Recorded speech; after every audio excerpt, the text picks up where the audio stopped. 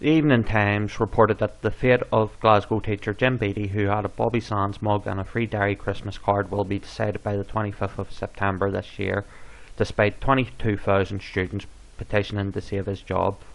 Students describe him as a legend. The Independent reported that Stormont Assembly members will have their pay cut by £13,000 sterling 20 months after Stormont collapsed. The Irish Independent reported that four guards who were suspended in relation to a cocaine probe won't face criminal charges.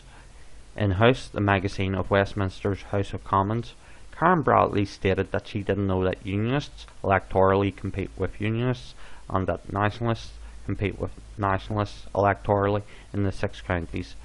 This shows that the British state and British government will never be able to govern any part of Ireland competently.